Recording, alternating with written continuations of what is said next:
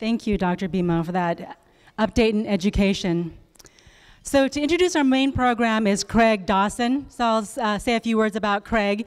Craig is president and CEO of Retail Lockbox. He also serves on the Seattle branch board of directors of the Federal uh, Reserve Bank. So a few fun facts about Craig. He was a varsity four-year letterman of the UW tennis team. Yeah. I'll tell you, he still has it. I played uh, doubles against him a few years back, and my scrappiness and smack talk were no match for his skills. He had me working. And he brought that fierceness to coaching his daughter. He said one of his most fun accomplishments was coaching his daughter's nine year soccer and basketball teams. Basketball? Basketball teams to undefeated seasons back to back. Please help me welcome Craig Dawson.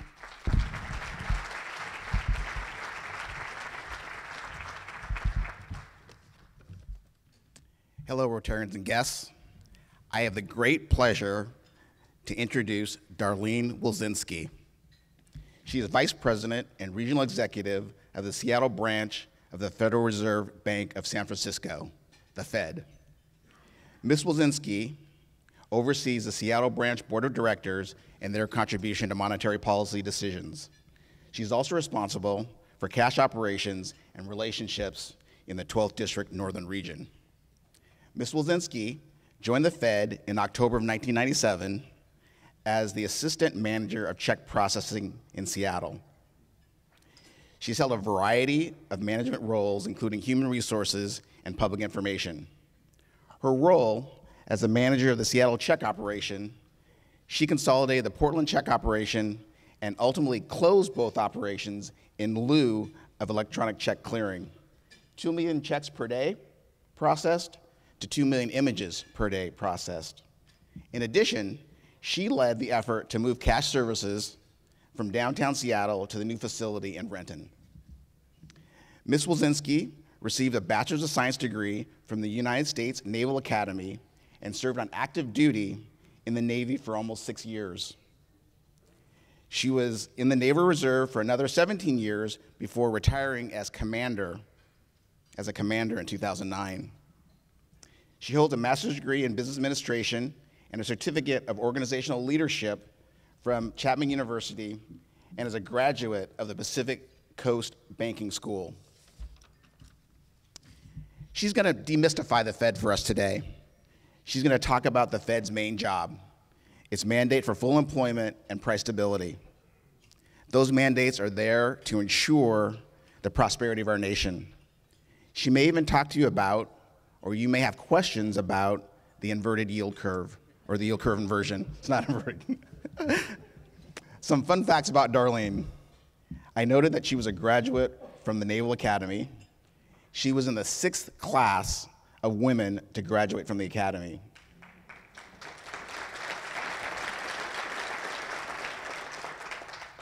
She says her true legacy is her granddaughter May, who turns one on April 2nd. Darlene's words are May is the most amazing child ever born. Please welcome Darlene Wilczynski, San Francisco Federal Reserve.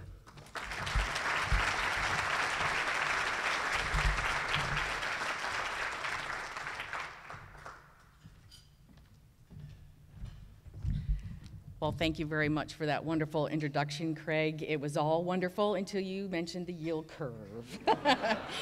if anyone realized in that introduction, there was never one word mentioned about being a PhD economist, okay? So let's just get that out of the way right now. But I'm happy at the end of this, so hope we'll be able to answer your questions. Um, I am honored to be here today, uh, demystifying the Fed. Um, I, I hope I can do that, but you know, that's a tough order. Uh, I will say this, though. Um, it has been an honor to serve at the Fed for so long, and, and um, I'm going to talk a little bit more about that. But I'd really like to thank first Craig and Mark Davis for making sure that I could be here today to speak. Always glad to have the opportunity to get out into the public. And as you may notice in your handout, Craig's picture's there because he is a member of our board of directors, and we appreciate your service. Thank you, Craig. But of course, before I move on, I have to thank my Federal Reserve colleagues as Ken called them, my posse. I think it sounds better to say entourage, right?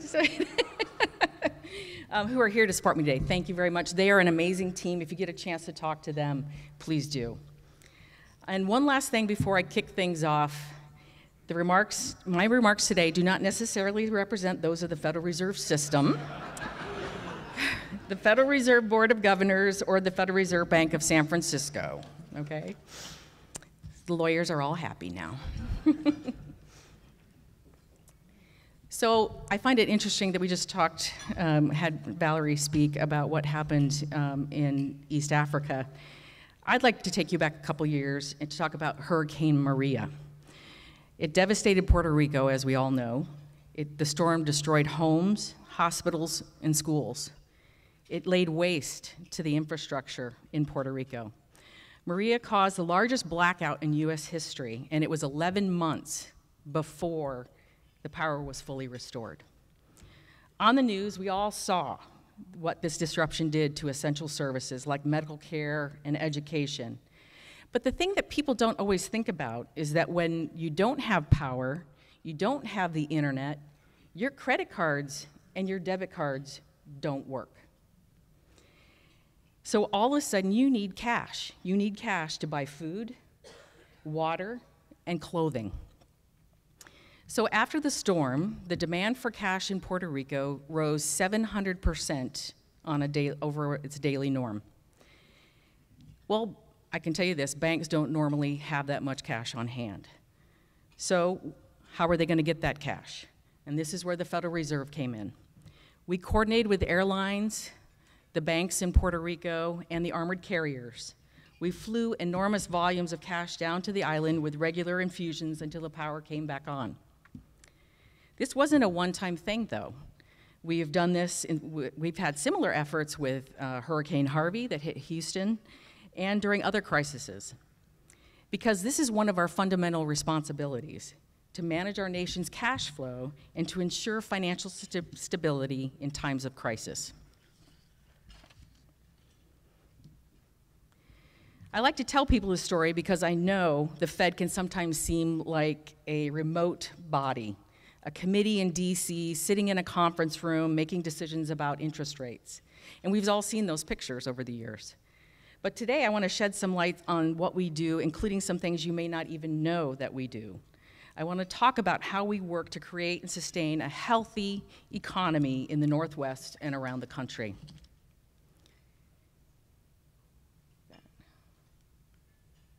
There we go. But before we get to that, I do want to tell you a little bit about my Fed story, and Craig mentioned some of this.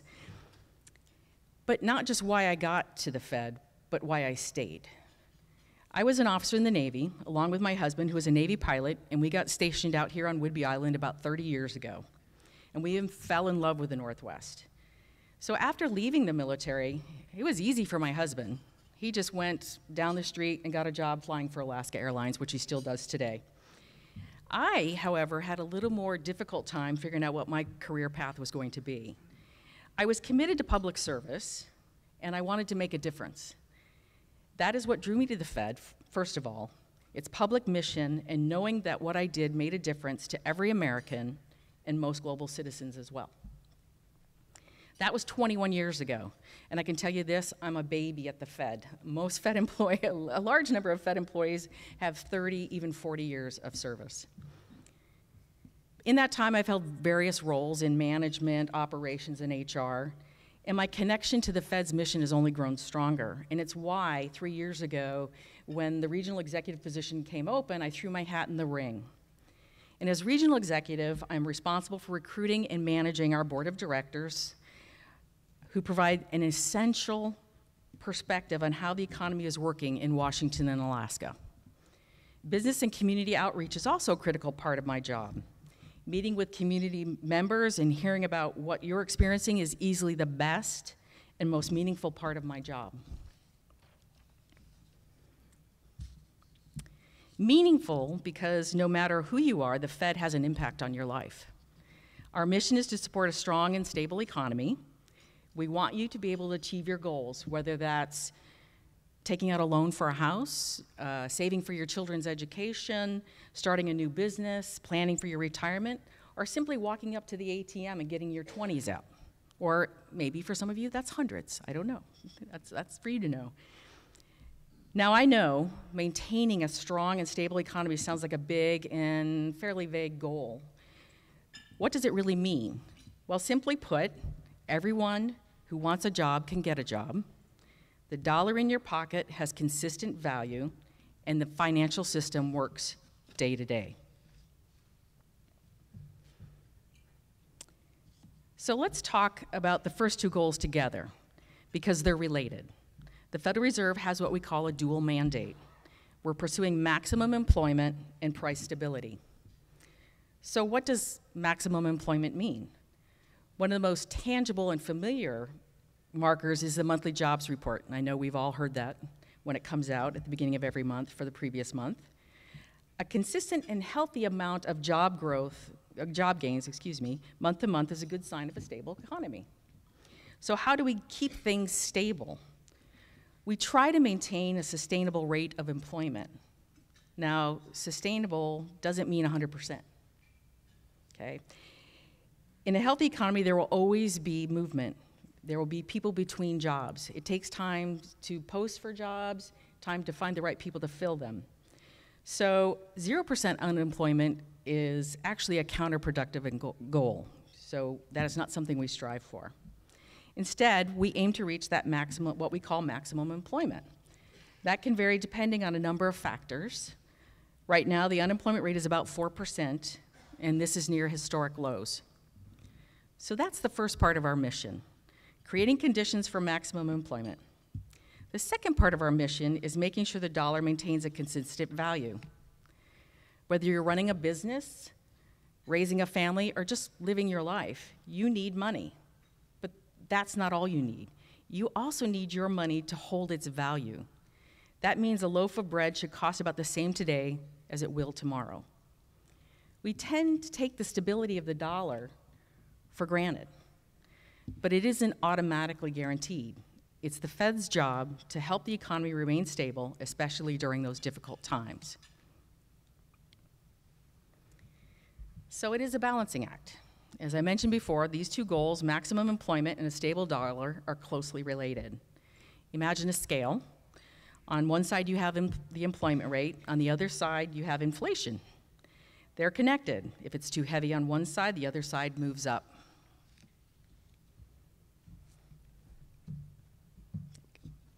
In a recession, when unemployment is high, the workforce side of the scale gets lighter and inflation sinks too low. To bring back to bring things back into balance, the Fed will cut the Fed funds rate to jumpstart the economy. This is our main monetary policy tool. But what happens when economic conditions start to heat up? Now, a lot of previously unemployed people are working again, weighing down that side of the scale, and we can see the corresponding rate of inflation, and we can see the corresponding rise in the rate of inflation, which could cause the dollar to become devalued like what we experienced in the 1970s. That's when the Fed, Fed will typically raise the Fed funds rate to help bring things back into balance. What we're aiming for is something our bank president, Mary Daly, likes to call a Goldilocks economy one that's not too hot, not too cold, but that's just right for strong growth, low unemployment, and a steady low inflation rate of 2%.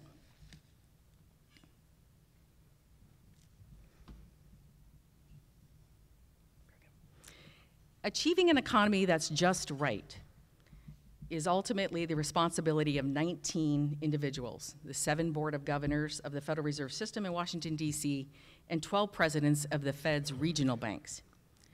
Known as the Federal Open Market Committee, FOMC, they meet every six weeks to discuss the economy and set monetary pol policy to achieve the Fed's dual mandate. Given our broad national scope, you might wonder how we can be sure we're doing right by local regions like ours. After all, it's a lot different here in Washington than, say, in Alabama. But that's part of what makes the Fed so unique. Local input informs and drives the policy decisions we make at a national level. And because the Fed has a unique structure, it even manages to take politics out of the equation.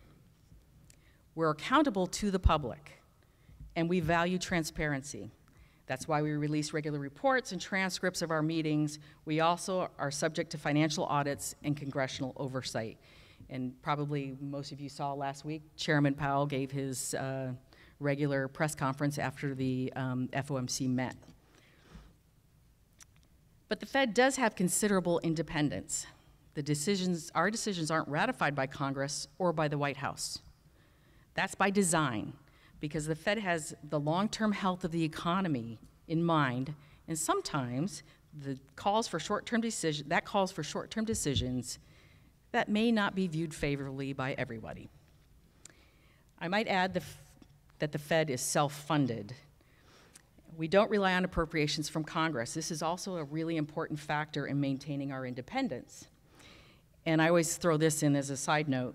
So, so people understand how we get our income is the Federal Reserve primarily derives its, um, its funding from interest on US government securities that that is acquired through its open market operations. After it pays its expenses, though, the Fed turns the rest of the earnings over to the US Treasury. About 95% of the Reserve Bank's net earnings since we um, began operations in 1914 have been turned into the US Treasury. And just recently it was announced in 2018, we turned in $63.5 billion to the US Treasury.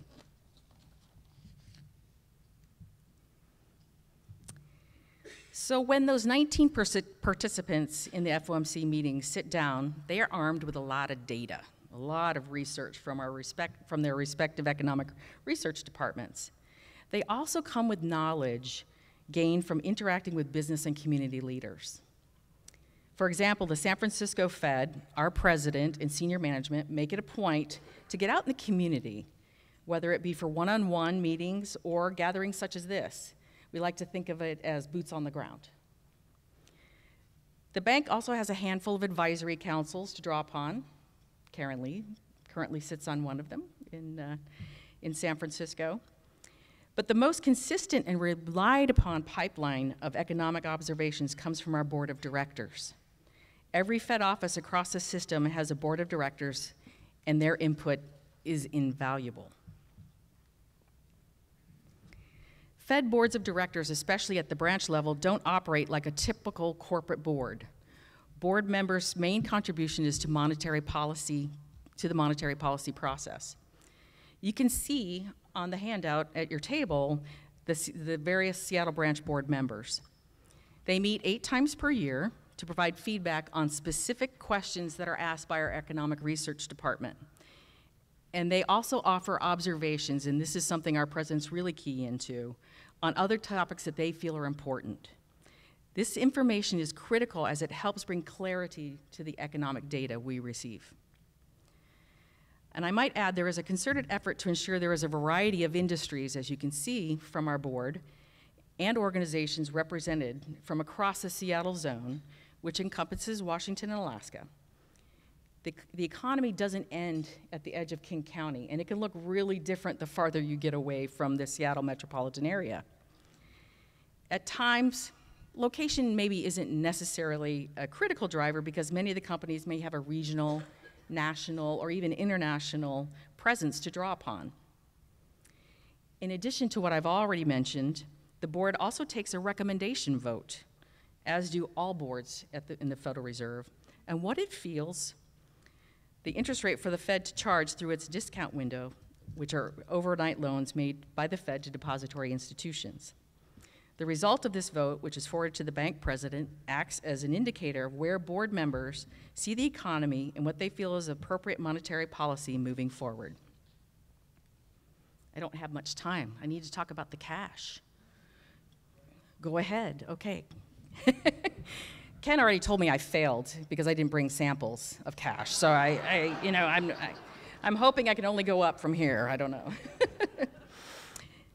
Okay, so we're going to move on to supporting. Um, so I explained those uh, maximum employment and price stability. So let's move on to the supporting role of uh, supporting the financial system. This generates a lot fewer headlines, but we need to be sure that we are um, doing this job as well as the other. So, how does the Fed support the financial system? By making sure currency is available, payments are being processed, financial institutions are behaving responsibly, and shocks to the system can be absorbed. I'll start with cash, since that's been the biggest part of my career at the Fed, and I know many of the people sitting at this table. But it is one of the most tangible things we work on. When you go to the ATM, if you have money in your account, after you push all the buttons, you should be able to get that stack of 20s out, right? But remember, cash is only at the bank because the Federal Reserve helped move it there. The Fed manages cash flow throughout the country so that whenever you need money in your pocket, you can put it there. And it's noted on the handout how much we at the Seattle branch, our cash operations process each month. When depository institutions de deposit their unneeded cash with us, we destroy unfit currency and we identify suspected counterfeit currency. In turn, we supply depository institutions with currency so they can meet the demands of their customers. That's all of you. My least favorite slide.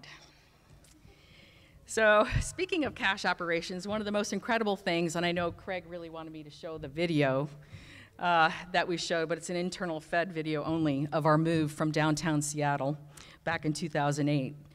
Uh, we outgrew our building in downtown, and we needed to build a, because vaults the size that we needed don't come, like we can't just go out and purchase one. We had to build it ourselves. I'll never forget, and I know many of us here uh, at this table won't forget, the, amounting, the, the amazing amount of logistics and planning that it took to move all that cash 15 miles down the road within a few sh short hours. So we moved all our currency out of the facility, and as you can imagine, on Second Avenue, and it's I, the building has been is being remodeled right now, uh, as I last saw. But we couldn't do it in the normal way that we, we would normally move currency in and out. So we literally rolled containers of currency out to the curb, put them on forklifts, lifted them in the back of the semi tractor trailer, and off we went. Now, that sounds a little crazy and a little risky. Uh, or a Hollywood movie. I know many, I, I sat there and I said, I'm, I'm living a Hollywood movie here tonight uh, as I stood on the street in Second Avenue. But it was a very controlled process because we're all about controls. Uh, we had an overwhelming presence of law enforcement. We had six different agencies led by the Secret Service helping us manage this flow. So it was all under control. now, I know a lot of things that I hear from folks are why do you need a bigger building? Cash is going away, everything's going digital. Why would you need that? Well, I'm here to tell you that's wrong thinking. It's true, electronic payment systems and services like PayPal and Venmo have changed the payment landscape. But you might be surprised to learn that we still use a lot of cash. As of January of this year, there is 1.7 trillion US dollars in circulation around the world. And the dollar value of currency in circulation has more than doubled since 2007 alone. And millennials, they use cash just as much as any other generation. Don't let them tell you anything different. So while the Fed does move a lot of cash around, we also facilitate other payment processing, from checks to electronic payments, and we have other day to day responsibilities too. The Fed plays an important regulatory and supervisory role that helps ensure banks and other financial institutions play by the rules. We promote consumer protection, fair lending, and community development. We also provide financial services for the U.S. government so it can conduct its business. These lesser known responsibilities keep our financial system strong, and they give the economy the resilience to absorb shocks to the system.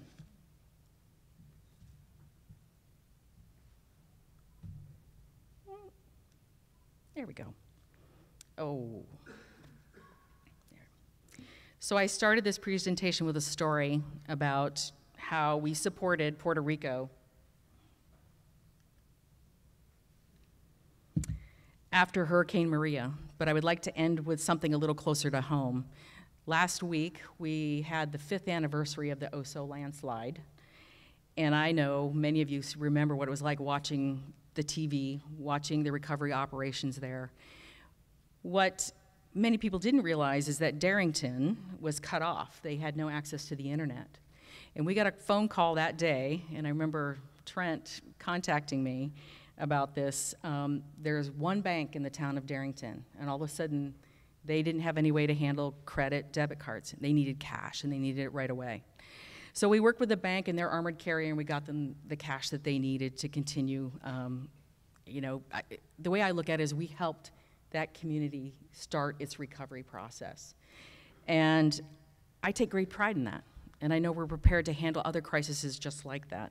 And I know my team here, they feel the same way. It's an important part of what we do. So there you have it, a short primer on the Federal Reserve. I hope I demystified, I, like I said, I think that's a heavy lift. But I'm happy to answer any questions.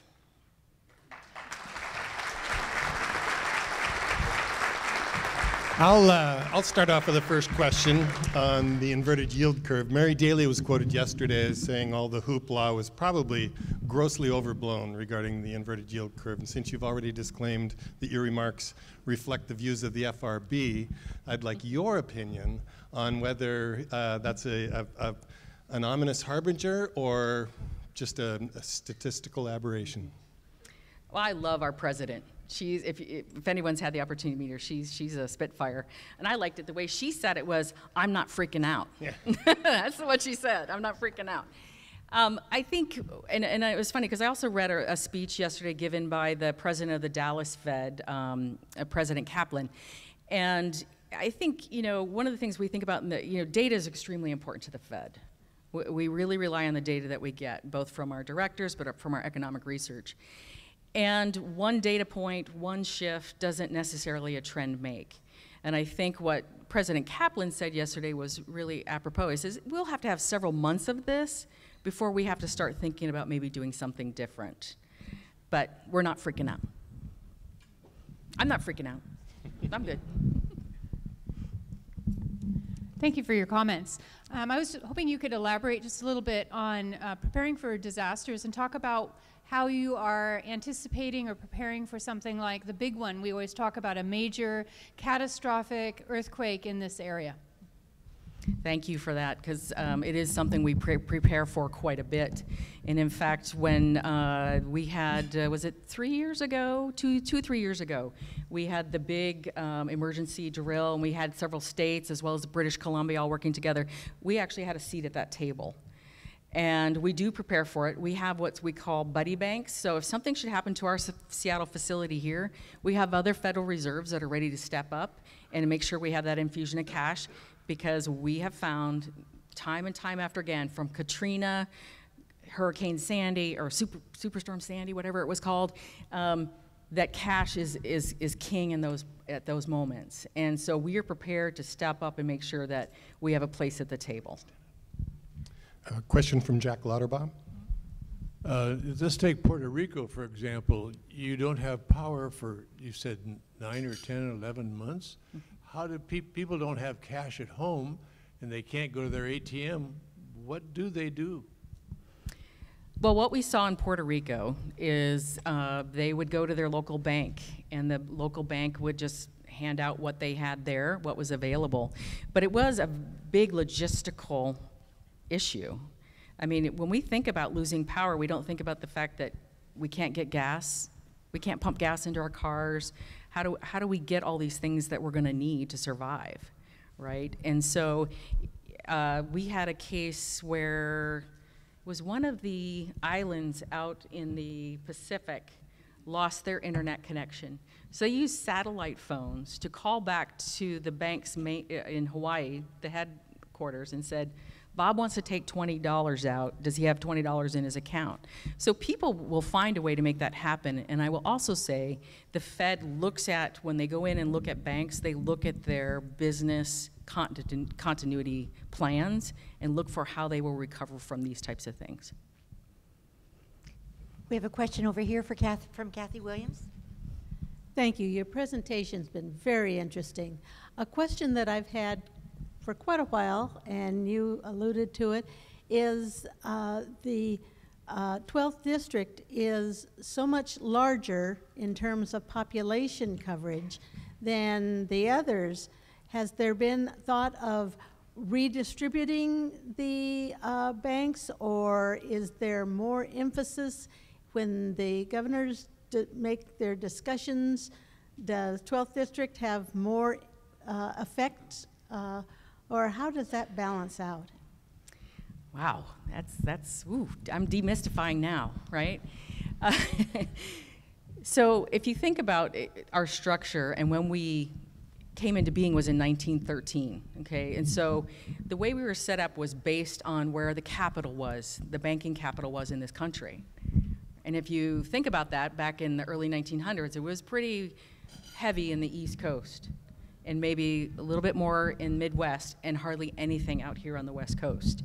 So that's why you see what you have, the kind of structure you have today. It would take reopening the Federal Reserve Act by Congress to do something like that to redistribute, and that's probably not something we're ready to do. As far as influence, it's interesting. All the presidents have an equal influence, and, and, in fact, if you look out there, you will see many of the presidents out giving speeches, having their points of view, and we want that. We want that diverse opinion out there. And but, when they all come to the table, they come together, they share those views, and they're all equally weighted on um, when they come to that group, to the FOMC, and when they're talking. So there is no real, um, I would say, mismatch one over the other. Back right corner, a question from Neil Larson. There's been uh, quite a change since December in uh, the direction of interest rates. I was wondering if you could comment on any information that you're aware of that has caused the Fed to change the direction of its sentiment. Well, I think a good thing to look at was particularly um, Chairman Powell's comments from last week at his press conference. I was reading over that last night just to prepare.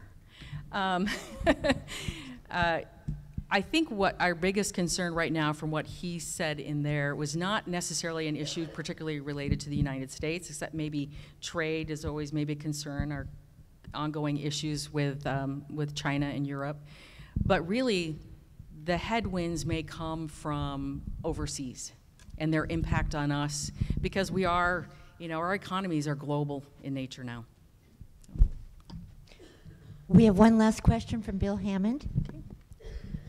Thank you very much for your remarks.